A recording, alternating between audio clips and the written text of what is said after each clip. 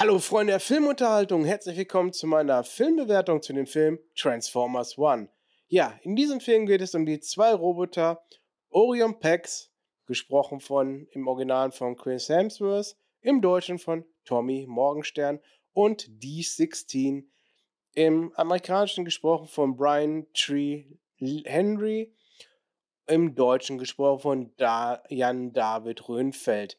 Ja, diese beiden Roboter sind ja Minenarbeiter, denn sie müssen ganz tief unten unter der Planetenoberfläche Cybertrons Energon abbauen. Energon ist die Energiequelle der Transformers und somit unverzichtbar. Warum müssen sie es unter der Erde abbauen? Denn seitdem die Primes den großen Kampf gegen die Sentinels geführt haben, ist die Matrix der Führerschaft verloren gegangen. Und diese Matrix war dafür verantwortlich, dass das Energon auf dem Planeten Cybertron in Hülle und Fülle zu finden ist.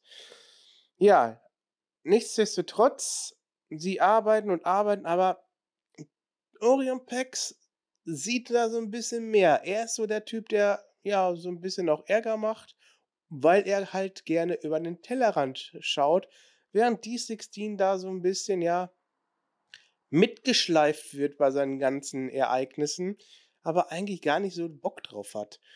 Und ja, an einem Tag machen sie bei einem Rennen mit, das eigentlich nur für die privilegierten Transformer ähm, ja ist. Sie haben da eigentlich überhaupt nichts zu suchen, aber machen da so viel Furore, dass Sentinel Prime auf sie aufmerksam wird. Sentinel Prime äh, wird gesprochen von Tom Ham, im Deutschen von Tom Beck. Und ja, er sagt ihnen, ja, ihr seid alle cool, dies, das und so. Habt echt eine geile Show abgeliefert und so, aber trotzdem müssen sie wieder runter in die Mine. Pex kommt auf die Idee, ey, lass uns doch die Matrix suchen. Das kann doch nicht sein, dass die so schwer zu finden ist. Und ja, sie versuchen auf die Cybertron-Oberfläche zu kommen, was ihre Vorgesetzte Lita One gesprochen im amerikanischen von Scarlett Johansson, im deutschen von Emilia Schöle, nicht gefällt, denn sie ist eigentlich dafür da aufzupassen, dass da keiner irgendeinen Stress macht. Und ja, Pex ist schon häufiger aufgefallen. Nichtsdestotrotz, sie gelangen auf die Oberfläche und ja, versuchen diese Matrix zu finden. Ja, so viel dazu. Also ich werde den Film auf zwei Arten bewerten. Einmal, weil ich ja noch die ursprüngliche Transformers-Serie kenne, Transformers G1, und dann halt jetzt den Film alleine bewerte. Bewerten wir den Film doch erstmal alleine. Der Film hat sehr tolle Animationen, modern angelehnt auf jeden Fall. Vom Design her ein bisschen auch den G1-Touch, aber nicht wirklich zu sehr.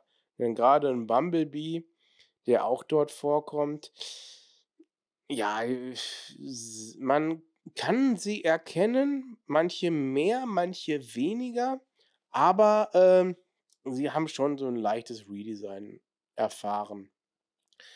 Abgesehen davon, dass ja viele Transformers ja, so wie wir sie da aus der G1-Serie kennen, ja schon auf der Erde waren und dadurch dann halt ihren, ja, ich sag jetzt mal, irdischen Touch bekommen haben sehen sie doch hier teilweise noch ganz anders aus, weil sie da halt doch sehr nach dem, ja, Cybertron-Umfeld angepasst sind. Außerdem ist da die ähm, Paramount Pictures Animation ähm, für verantwortlich, sondern auch die berühmt-berüchtigte Firma Industrial Light and Magic, die auch für die visuellen Effekte verantwortlich ist ja, die Animationen sehen sauber aus, die Animationen sehen cool aus und ähm, ja, das ist auch so die erste Synchronarbeit von Chris Hemsworth als Optimus Prime.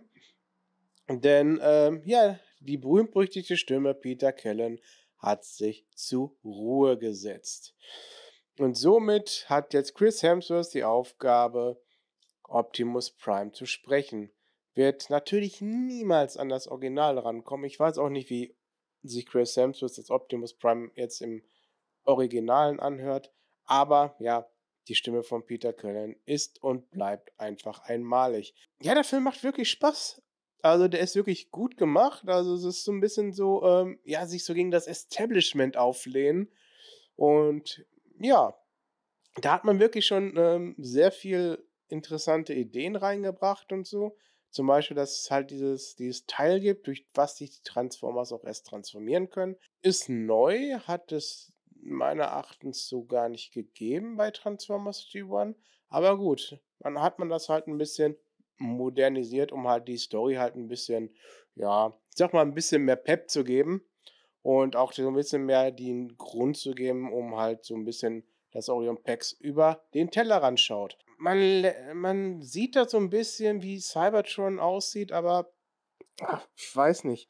Ich finde, da hätte man Cybertron hätte man noch ein bisschen anders darstellen können. Hatte ich so ein bisschen so meine Probleme gehabt. Der sah mir so, gerade die Oberfläche hat mir jetzt so gar nicht gefallen, muss ich ganz ehrlich sagen. Und da waren auch so ein paar echt wirre Gestalten. Und nee, also so manche Sachen waren da von, von dem Redesign her, haben mir jetzt wirklich gar nichts zugesagt. Aber wie gesagt, also tolle Charaktere, Animationen, ähm, die Synchronstimmen, die Deutschen gehen durchaus in Ordnung, muss ich sagen. Also das hat mich jetzt gar nicht so gestört.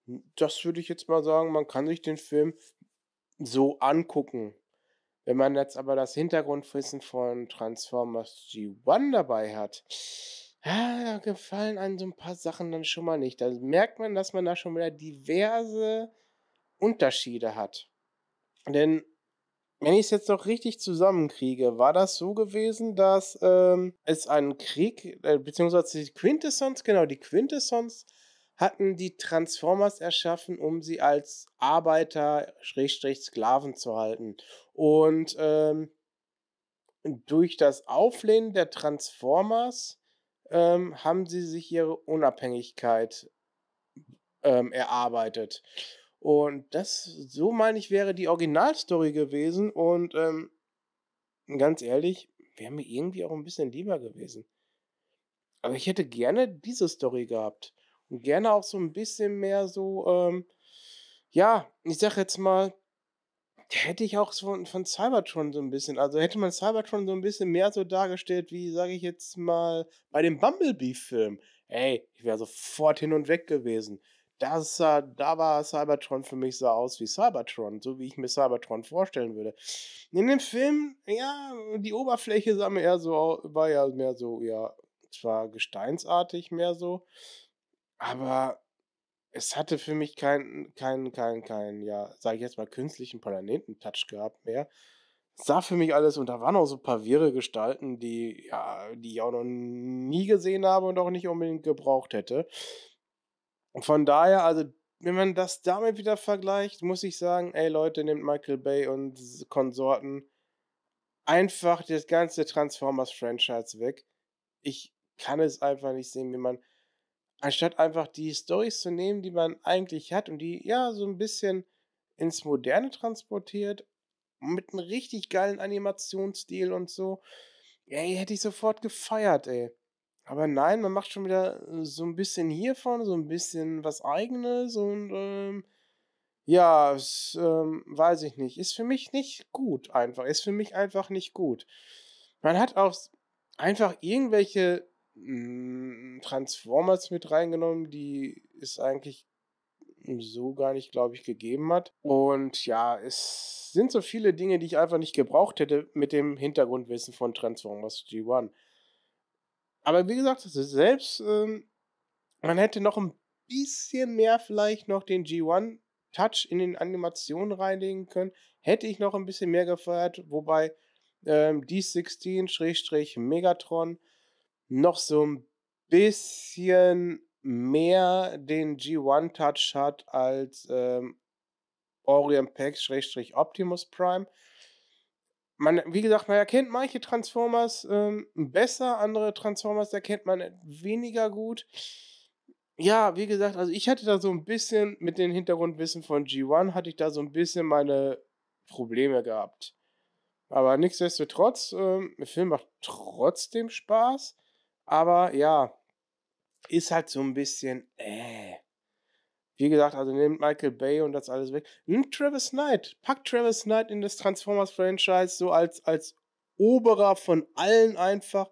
Denn für mich ist der Bumblebee-Film immer noch der beste Transformers-Film von dem ganzen Franchise. Auch wenn das immer noch so ein bisschen der unterschätzteste Film von den Transformers-Franchise ist, ähm, ist das für mich einfach noch der, der, wo ich jetzt sage, vom, vom, vom, ähm, vom Design der Roboter her und auch vom ähm, Look von Cybertron her, hat mir das mit am besten gefallen. Da fallen die ganzen Transformers-Filme von Michael Bay einfach raus. Da sahen viele Transformers aus wie aus dem Schrottplatz zusammengeklöppelt. Ähm, und und ähm, gerade meine Lieblings-Transformers, die Dinobots, die sahen in den Filmen einfach so scheiße aus. Und ähm, die hatten auch überhaupt nicht diese, diesen, ja, ich sag jetzt mal so ein bisschen lustigen ähm, Charaktereigenschaften äh, oder so gehabt. Hat mir auch einfach nicht gefallen. Also, je mehr Transformers-Filme rauskamen, umso schlechter wurden die auch. Und umso wirrer wurden auch die Stories. Und ja, jetzt bin ich mal gespannt, was uns jetzt demnächst erwartet, wenn die Transformers wohl mit G.I. Joe zusammengehen. Ich erwarte da nichts Gutes. Aber welche Bewertung ich dem Film gebe, sage ich euch nach der Werbung für meinen Shop. Hallo Freunde der Film- und Gaming-Unterhaltung. Hier ist der MC Rossi Fanshop. Hier gibt es alles von euren Content Creator. T-Shirts, Hoodies, Tourenbeutel und noch vieles, vieles mehr. Und natürlich die Designs von Arts Expert. Also holt euch eins von den coolen Logos und holt euch den coolen Stuff nach Hause. Hier könnt ihr frei wählen, Größe, Farbe, alles was ihr wollt. Also ran da und holt euch den Stuff. Bis demnächst. Ja, da sind wir wieder. Transformers One, ein Film voller Missverständnisse, würde ich sagen, wenn man G1 kennt. Wenn man den Film einfach nur als solches ähm, nur als solches sieht, als eigenständigen Film sieht, macht der Film wirklich Spaß. Du hast ähm, tolle Charaktere, du hast einfach dieses Auflegen gegen das Establishment. Du hast einfach so einen Charakter, der einfach macht, anstatt zu überlegen. Und ähm, ja, das macht schon wirklich sehr viel Spaß. Die Animationen sind einfach modern gehalten, mit ein bisschen G1-Touch, aber leider hätte es auch von meiner Seite da ein bisschen mehr sein können war mir manchen Sachen ein bisschen zu wenig. Und ähm, ja, manche Charaktere erkennt man etwas besser, wenn man G1 kennt, andere erkennt man hm, ja eher weniger.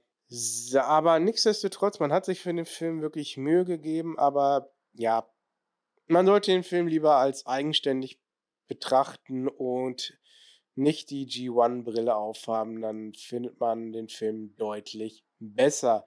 Und somit gebe ich jetzt auch zwei Bewertungen ab. Und zwar, ohne Transformers G1 zu kennen, würde ich den Film zwischen vier und fünf Totenköpfen geben. Mit der G1-Brille, weil die Story wirklich äh, ja nicht so wirklich das ist, was ich äh, von Transformers G1 kenne. Und ähm, ja, wie gesagt, manche Transformers erkennt man nicht und dann hat man nur Charaktere, die in der Transformers-Stube überhaupt nicht aufgetaucht sind. Da gebe ich den Film dann eher so, ja, drei Totenköpfe. Weil da, es macht trotzdem Spaß, sich das anzugucken, aber es ist einfach nicht wirklich das, was man sich jetzt vielleicht gedacht hätte, wenn man jetzt hört. Die Originalstory von Transformers wird erzählt, die Vorgeschichte von Transformers wird erzählt. Jetzt kriegen wir Orion Pax zu sehen, wie er zu Optimus Prime halt wird. Ja, da gefiel mir die Origin Story bei G1 einfach ein bisschen besser. Ja, das war die Filmbewertung zu Transformers One. Wenn euch gefällt, was ich mache, dann schaut doch mal unten in die Videobeschreibung. Dort sind ein paar interessante Links, mit denen ihr mich unterstützen könnt. Ansonsten wünsche ich euch noch einen schönen Tag. Bis demnächst.